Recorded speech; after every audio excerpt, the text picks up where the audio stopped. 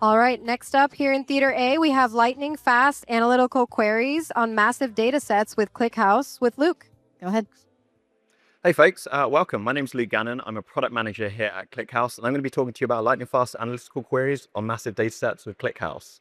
Uh, so what is ClickHouse? Probably the best place to start. ClickHouse is an open source OLAP database designed for blazing fast queries on massive volumes of data. So we speak fluent SQL uh, to the ANSI standard. Uh, we're designed to ingest and query massive amounts of data extremely, really fast uh, and efficient storage with amazing compression ratios. Uh, our architecture can scale to any shape or size with our support for distributed queries, replication, sharding, multi-master, and cross-region support as well. So since its inception in 2009, the product was open sourced in 2016.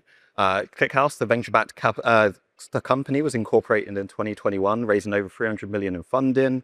Uh, we ranked number one on as an analytics database on DB Engines. We've received over 40,000 stars on GitHub. Uh, and thanks to the contributors of over 1,500 contributors, uh, we're growing a community of over 200,000 members too. So four really popular use cases where ClickHouse is really used in the wild real-time analytics, so customer-facing applications designed to scale to like hundreds of thousands of users concurrently. Uh, business critical reporting, so you can hook up tools like Power BI. You can use Quick ClickHouse as a query engine on top of data lakes, or ingest it into ClickHouse for even faster query speeds for mission critical applications. Uh, we do SQL-based observability, which is becoming really, really popular. And it was the original use case for ClickHouse too, storing like Google Analytics style metrics and logs. And you can attach Grafana as your front end, or you can use our recent acquisition, HyperDX, uh, to analyze and alert on logs and metrics. Uh, machine learning and Gen AI, Gen AI, is also growing in popularity. I'll talk to that, how you can use uh, basically power agents with our MCP server too. So we have thousands of customers and users deploying ClickHouse. Technology titans like Microsoft, uh, their WebXT team is using ClickHouse to store web properties. So gathering from products like Bing and Edge, and they're basically bringing it all into ClickHouse for their Microsoft Clarity product. Uh, so we have a great talk available on our website. So head over to clickhouse.com forward slash use cases, uh, and you can understand a bit more about what they do. Cloudflare also analyze and store over 1.5 trillion page views per month with additional 2.5 billion visitors analyzed per month. Uh, so you can handle such traffic, and they chose ClickHouse because of our performance to ingest over 11 million rows per second. Uh, like I said, head over to the website if you want to find out more. So what our customers are reporting is that they're finding ClickHouse uh, basically provides more performance than other vendors with predictable costs and more productivity. And so the best part of ClickHouse is that it's designed and architected for the cloud and distributed setups. Uh, our cloud is fully managed and it's a serverless offering. So if you find that you need a multi-cloud strategy too, we've got you covered and I'll touch on these on the next few slides. So we're always measuring real-time performance, looking at both read and write workloads. So whether it's analytical queries, aggregation heavy, querying across large data, several million writes per second, performing both operations at the same time. You can head over to our benchmark.clickhouse.com and you can get a bit more of an understanding on what we're testing and how we're mimicking real world use cases. Loads of other vendors like MotherDuck are also adding their benchmarks in too.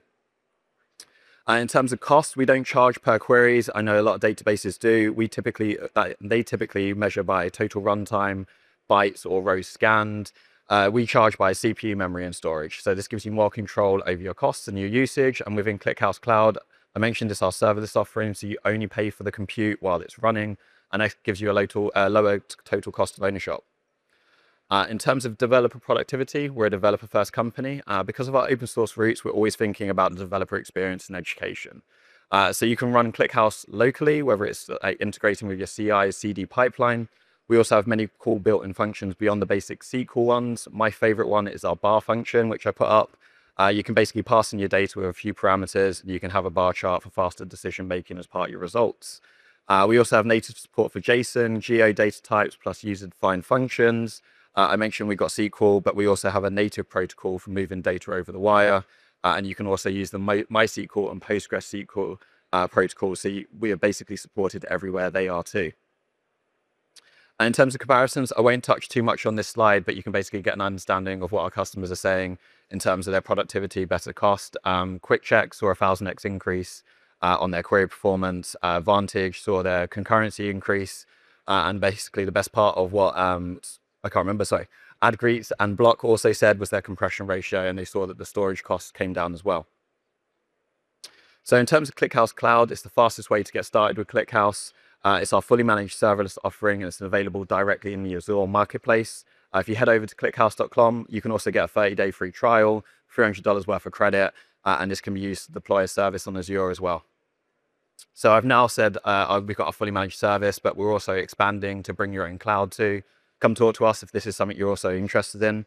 Uh, we're available on all three major CSPs and deployable in all regions. Uh, we've also got a ton of security certifications.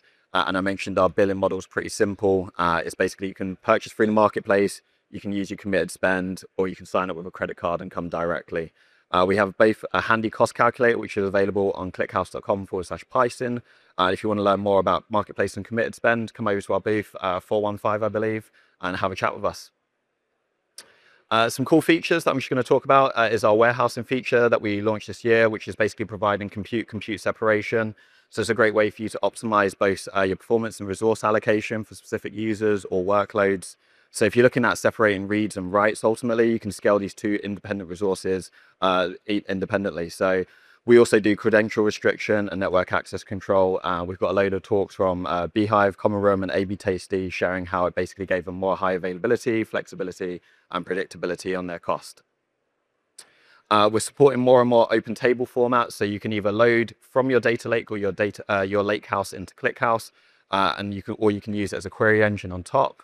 Uh, I'll talk a bit more a bit later on about some ad hoc um, federated queries and data stored um, alongside ClickHouse. We also have our S3 cluster, our Iceberg cluster, and our data, Delta Lake cluster functions, so you can query directly where your data is sitting. Uh, we're also bringing down the speed uh, in terms of uh, reducing the performance gap between the ClickHouse native table formats and these open standards, uh, and we're highly invested in this area this year.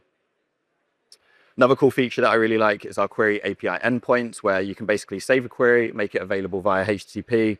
Uh, you can make a request and run, run the query against your service, meaning you don't have a dedicated API uh, to query your data. And this is great for just getting to production really, really fast. Uh, I'm going to quickly touch on ecosystems and integrations because that's my area. Uh, we have ClickPipes, which, is, which is our cloud native experience to ingest data from remote data sources uh, from around the cloud. So ClickPipe's really easy to set up. You select your data source, configure the schema and destination, uh, and you can create a ClickPipe either via the UI or programmatically using something like Terraform or our API. And because ClickHouse is really, really fast, ClickPipes is built to handle that amount of volume and speed. And so we take care of building and scaling these efficient pipelines for you, and it essentially accelerates your time to production. Uh, and ClickPipes has support for lots of different data sources, whether it's object storage like blob storage or Azure blob storage, PubSub like Event Hub and Confluent, uh, and we release, recently released CDC pipelines so you can do Postgres or MySQL databases and keep those in sync uh, between your transactional use cases and, and your analytical use cases. Uh, we've got tons of integrations too. So if you don't fancy uh, using ClickPipes, you can also use our table functions to access data lake storage or blob storage. Uh, we've got Spark connector available, Power BI connector. Uh, we also work with Data Factory and all your favorite tools and sorry drivers in terms of like C sharp, JavaScript, Java. Uh, so most of the languages that you want, we support. Um, I'm going to quickly touch on Gen AI and AI agents because they're the hottest craze this year and everyone's talking about them. Uh, and this is obviously where speed is crucial for powering these agents. Uh, and so because we're built for real-time responses and we're highly concurrent, you can attach your agents ClickHouse and you know you're going to get the query results in milliseconds along with consistent performance, you can be confident that your users and agents scale as your database needs to, uh, and you'll be querying the most up-to-date data without needs of lots of servers. So MCP, uh, the Model Context Protocol from Anthropic, uh, provides an LLM, a way to augment data from tools. And if you're interested in learning more, there's a great blog up by Riyadh, which I've attached there at the bottom, along with a video on YouTube from Mark Needham, who shows you how to get started. Uh, and you can also download the MCP server from GitHub, give it a spin. Uh, but instead, I'm going to give you a quick demo of using uh, what we call Agent House and how you can get started with that. Uh, let me see if I can move over. I got taught a new trick. Uh, wrong one. There we go. So uh, Agent House is available. You can go over to llm.clickhouse.com uh, and you can start basically inspecting. We've got a load of data sets. So I'm going to ask it what data sets is available. Uh, and in the background, this is basically going to be running queries in real time using the MCP server against the ClickHouse database. Hopefully the hardwired line works uh, and hopefully you can see the screen quite well.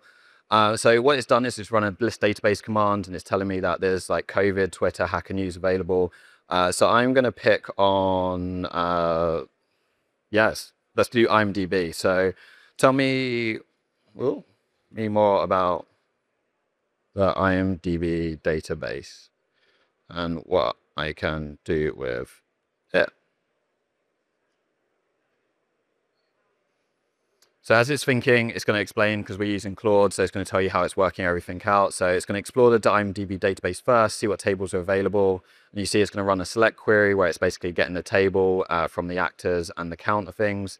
Uh, and it's basically trying and doing trial and error to basically build up these queries in real time to understand what to do. So you'll see it run a bad query, and now it's going to do another query, uh, which is actually compliant with our SQL. And you can see it's just bringing back these results. Uh, and overall, it's now going to get some like top hits from the movies database. And so it's going to tell me a bit of information about it. So it sees that there's tables around movies, actors, actors large, uh, as well as directors, movie directors, and you can do like movie analysis, actor and director analysis. So I'm going to be cheeky and I'm going to say, can you build me a dashboard telling me about the top sci-fi movies uh, and their directors?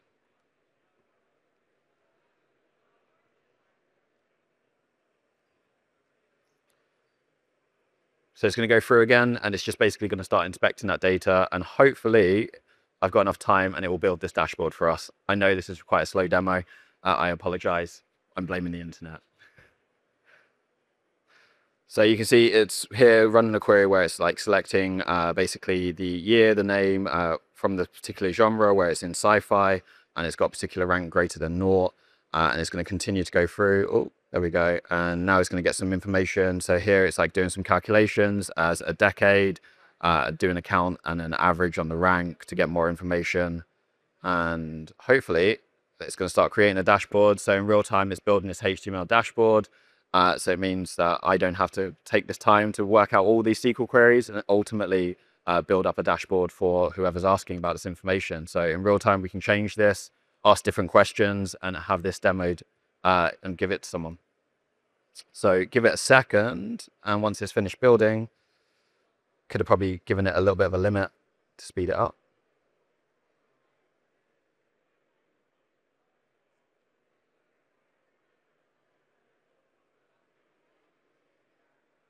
Oh, I hope I don't run out of time. There we go. So you can see it's obviously building both the HTML as well as the JavaScript, and this should be a nice, pretty dashboard, hopefully in the end, there we go, of the top 10 sci-fi movies of all time. So some of these I don't know. Hopefully we've got some sci-fi fans in. Uh, I think the only one, I don't know any of them or any of the directors, uh, but hopefully we can start seeing that like number of sci-fi movies started picking up in the 1990s, but in the 2000s it dropped off. And you can imagine if someone wanted to like ask you for a dashboard like this, you could be spending the best part of half a day to a day building this up, working out what queries are right. Uh, and the nice part is, is if someone goes, how do you know it's not hallucinating? You can basically take the queries themselves uh, and start inspecting them and checking them yourselves. Uh, yeah, thanks for coming along. Uh, hopefully, I should be able to say, come along to booth 415 if you want to learn more. Uh, and if you go to clickhouse.com, you can learn more about ClickHouse. Thanks for listening to my talk.